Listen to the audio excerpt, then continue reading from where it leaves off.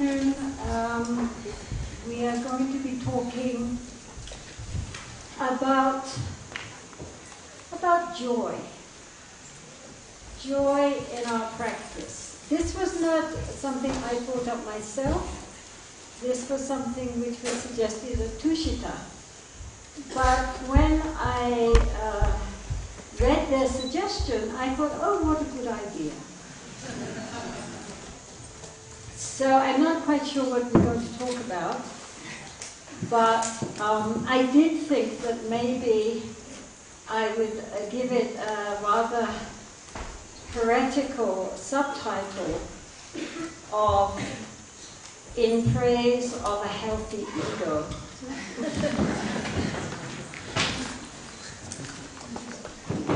so basically, you know, as we all know, uh, the Buddha, who here is not a Buddhist? Okay, who here doesn't know anything about Buddhism? Well, as almost all of you know, um, the uh, Buddha taught his first sermon after his enlightenment in a place called Saranath, which is near to Varanasi. And although he had just, you know, within the last few weeks attained to enlightenment, which he had been striving for for countless eons, um, Aileen, can you get Lona in here? She's sitting outside. The shop's still open.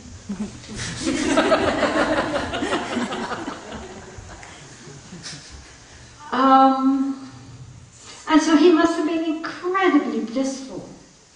After all those eons and eons of striving, finally, he had broken through all those deep, thick fetters of ignorance, and he had, he had become the truth.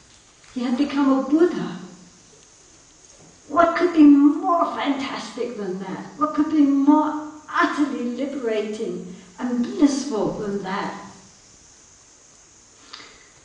But as we know, his first sermon, what he talked about mostly was a thing called dukkha, which means in English, uh, it's usually translated as suffering, uh, but it also has an idea of dissatisfaction or dis-ease. So, therefore, because every mostly people know that the Buddha's first sermon was about suffering, and then he goes on to talk about other really jolly things like death and impermanence, and the fact that we don't have any self anyway. People tended to label, in the West, people tended to label Buddhism pessimistic. But of course, Buddhism is not pessimistic. They were also very puzzled by, since Buddhism is such a pessimistic religion, there's no God, there's no self, there's all this talk about the hell realms and death and impermanence and suffering. How come that in Buddhist countries people look so cheerful. Even in my Tibetan dictionary, which was written by uh, uh, one of the early uh, Christian missionaries, he points out that the Tibetan people are cheerful, honest, good-natured, and and so forth, and a very happy lot. But of course, how much happier they would be if they had the true message of Jesus. and he's clearly puzzled why they should be cheerful, happy, and, and, and so forth. So, th- this is what we're going to talk about. Now, if you take the Four Noble Truths, as we know, the first truth is the truth of the dissatisfaction of our ordinary life. I'm not going to go on a lot about Four Noble Truths, but we get in perspective. So, he said, birth. He starts with birth. Now, mostly in the West, we think birth is a time of rejoicing, not dukkha. Of course, it's dukkha for the mother. and we have to remember that when the child comes out, it doesn't laugh, it yowls. It's considered healthy. Birth, old age, sickness, death. Getting what we don't want, not getting what we do want. So if we think about that, that covers a very wide range. What the ego wants so often doesn't get, and we suffer what we don't want, we often do get, and so we suffer. And the point is, we never know when or where. Today, we are happy, we are healthy, we have lots of money, we have a nice partner, everything's wonderful. Tomorrow, we discover we have some incurable disease. Our partner leaves us. The stock market crashes. And suddenly, from being up here, we're down there. We don't know. We really don't know. It's like a circle. So sometimes we're up, sometimes we're down. Samsara is compared to an ocean. An ocean has waves. Waves go up, waves come down. Go up, come down. And as long as we grasp only at that which gives to us a sense of satisfaction and are in denial of that which goes against what I want, we suffer. Okay, first noble truth. Second noble truth, the Buddha treated it like a, a good physician, like a good doctor, right? He said, okay, you're sick. You're really sick.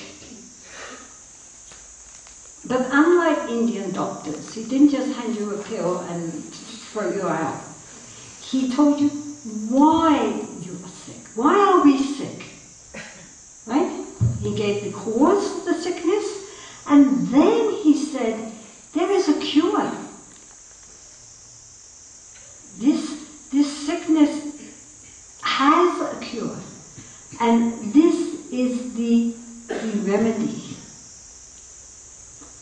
Follow this regime, this remedy, take these pills, you will recover from your sickness because it is only a passing sickness. It's not, you're, you are not incurably sick for life.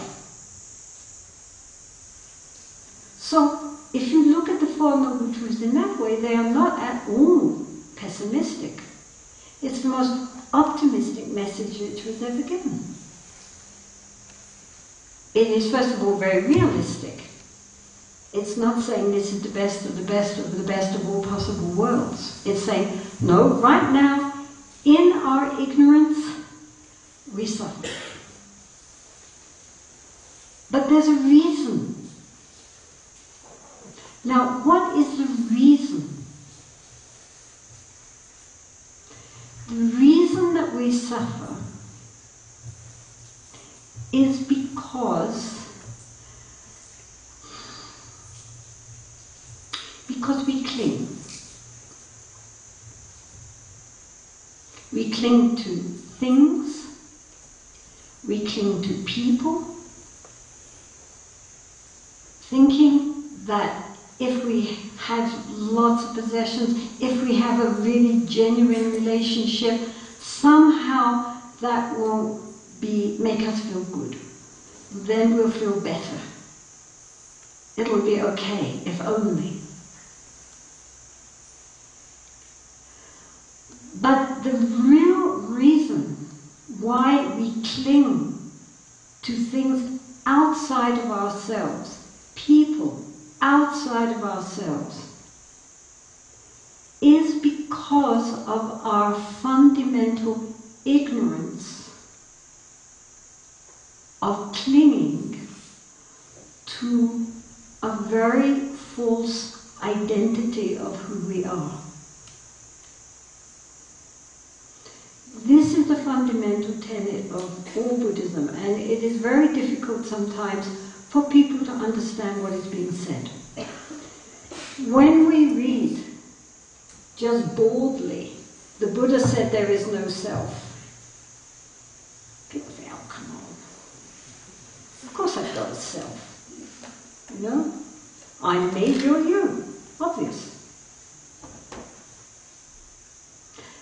And spiritual people say the Buddha was denying a soul.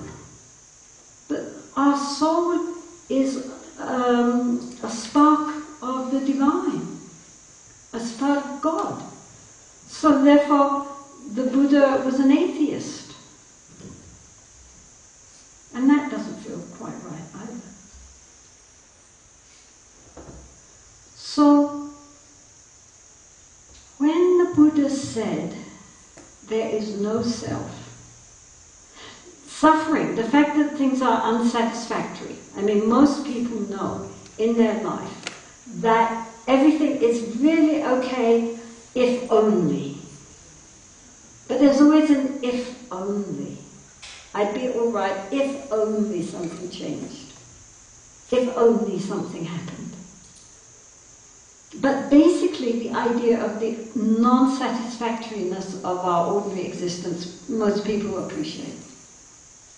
Most people can understand impermanence. Once you start looking at it, you recognize, as science tells us, that everything is, is moment to moment moving, nothing is ever still. Looks like very solid, but we all know from the point of quantum physics that this is a whole different thing from how it looks here, right? So, I mean, even backed up by science, we know that everything is constantly in movement. Nothing is still. Everything is impermanent. Rising, falling, rising, falling, moment moment moment moment moment. And the mind also is racing along. Our thoughts coming up, going, thoughts coming back, like a movie. It's like a movie where you see on the screen, you know, that there's something being played out there. But actually, it's just lots of little transparent frames which are moving so fast with a light behind them that it projects this reality. But this reality is based on the fact that these, these, these frames are moving at an incredible pace. Most people can't understand that. If you sit down and think about it, fair enough, yes, everything's impermanent. I'm not the person I was today insofar as my body's changed. I'm obviously not a baby anymore. I'm not a little child. I'm mature. I'm middle aged. I'm old. We, we can all see that. Houses are beautiful. Ten years' time, they need to be repainted. We all know that. But what gets people, at least people in the West, is the teaching on no self.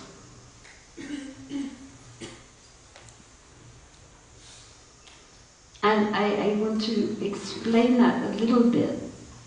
I hope this gentleman in front of me is not a geshe. Um, uh, and, and, and try to, to make sense of it.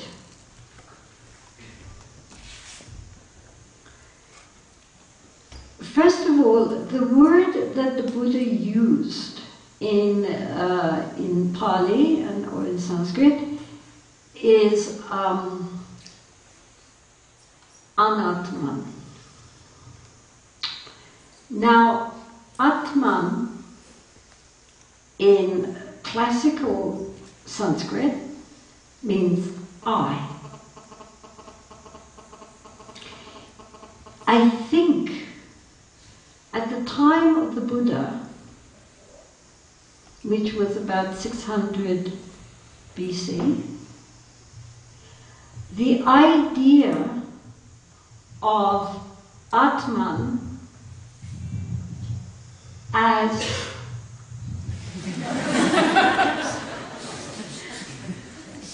the idea of Atman as being a vast cosmic principle at one with Brahman, as taught in the Upanishads,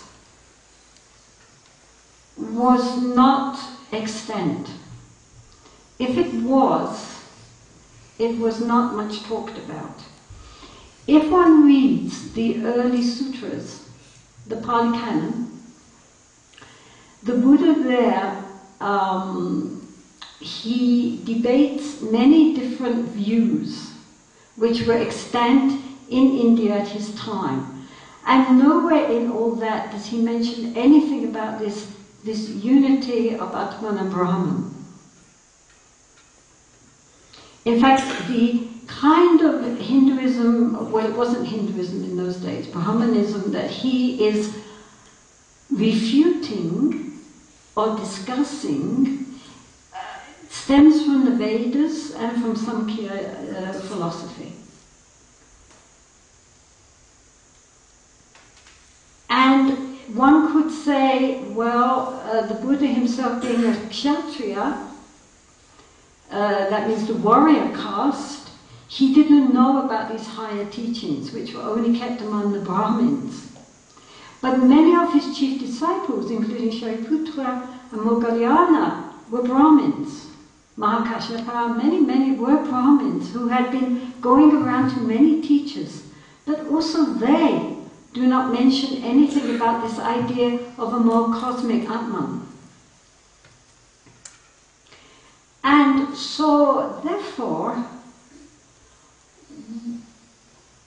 I at least am left thinking that when the Buddha said an Atman, he was not directly refuting the present day uh, Vedantic interpretation of Atma, which he didn't know.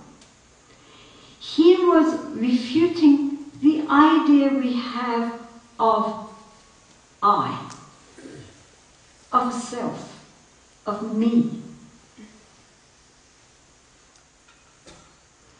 Not something beyond this ordinary identity. Okay? Now, let's think about that. Anatman is refuting the idea of an unchanging I. An unchanging I. Which actually we, in our heart of hearts, all hold to. The idea that somehow uh, I do not change. That the child that I was, the adult into old age, somehow that's still me. And that sense of I is there at the back of almost all that we are thinking. I like ice cream. In my opinion, you know, this, this hole should be bigger. Um, I, I, come from Israel, I come from uh, Tibet, wherever. I am a male, I am a female. I am intelligent, I am pretty dumb. Whatever. Everything which we do is predicated on this sense of that there is at the center of it all an autonomous, unchanging, solid being or soul called me. Right? Because we all think I. Well, in my opinion, I think, oh, I remember when I did that. Well, I'm planning to do something else. Oh, well, I've always been like this. Oh, I have the idea of doing this. I, I, I, I, I. Everything revolves around I, as the Buddha said. To each one, his own self is most dear. And that, that sense of a solid, immutable, unchanging I, like a spider in the middle of the web, that is what the Buddha denied. He said, look for it, you'll never find it. Now, he did not say that we don't exist. Obviously, we exist. But we don't exist how we think we exist. This is the problem. We have a totally distorted idea of who we really are. And, and this is what creates the problem. Because if we have a, a sense, strong sense of an individual I which has to be protected and satisfied, then we are always reaching out to grasp at something beautiful and bring it to I, and, and pushing off something which we think is unpleasant. Right? So that's how we get this, this whole round of, of ego ignorance and then with, along with that, greed and grasping to satisfy this I, and, and the aversion and anger to get rid of anything which gives displeasure to this I. Right? So, therefore, the ultimate problem is the I. Okay? You're wondering what this has got to do with joy. Now there is good news here.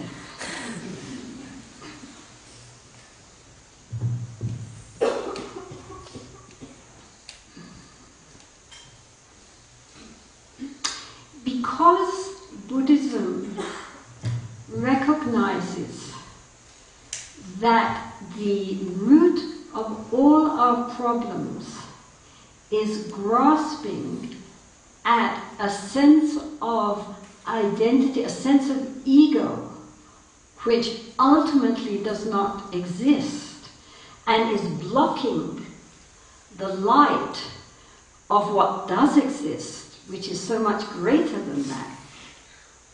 Therefore, in Buddhism, on the whole, the ego gets a very bad rap. And it is always being um, bashed on the head. Now, on one level, this is good, but on another level, it doesn't quite work.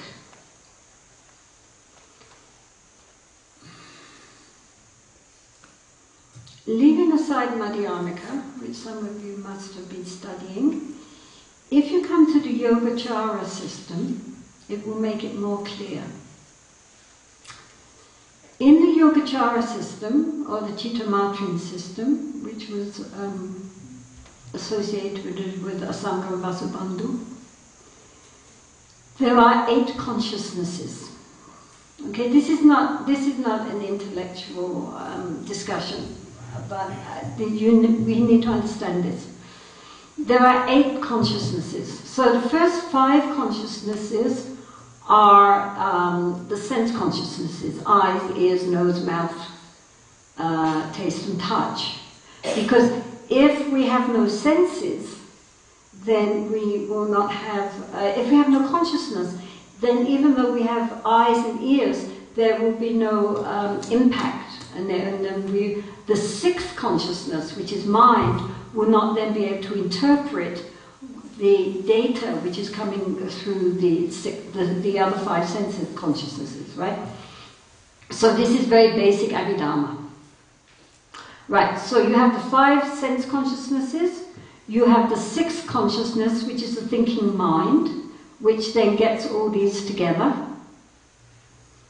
and is what we usually are involved in all our thoughts, feelings, memories, anticipations, intellectual uh, ruminations, and so forth. That's all the sixth consciousness, right? It's a conceptual consciousness. That means that by its very nature it's dualistic. There is a thinker and a thought. And it can only think on its own level, which is a conceptual level of things which can be seen and things which can be tasted and touched. Okay? Now, so you're on the sixth consciousness. Then we skip that and we go to the eighth consciousness. Now, the eighth consciousness is a very interesting consciousness. This is called in Sanskrit the Alaya Vijnana, and in um, Tibetan it's called the, the Kunji, which means the all base. And in English it's translated in various ways. Alaya means store. So, like you have Him Alaya, right? A storehouse of snow, right? The Himalaya. And so here the uh, Vijnana Alaya is the uh, consciousness storehouse. It's a storehouse of all consciousness and in the Yogacara system, it is like, you might almost say like you have an ocean, right? And, and you have the waves on top of the ocean, which is our ordinary sixth uh, conceptual consciousness. And then all these feelings, thoughts, and all the intentional actions of body, speech, and mind, our karma, sink to the bottom of the ocean. And then you have this huge ocean bed in which everything resides.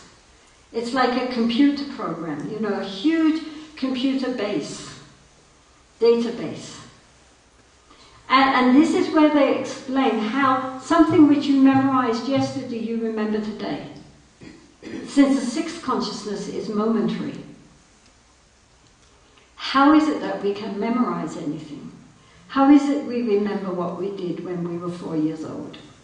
It's because it's all stored down in this big database, plus all our karma, our body, speech, and mind, all like seeds are all stored there. And when the causes and conditions come, they rise to the surface. Right? This is another talk on karma. But this is where, in, in the uh, Chittamatra system, this explains how all, we have memories not only of this lifetime, but of past lifetimes. How? Because it's all stored. As I say, like a computer, a computer can store zillions and zillions of bits of uh, data, you know, and it only comes together when the, you know, you push the right buttons and then up it comes. It's all there. So,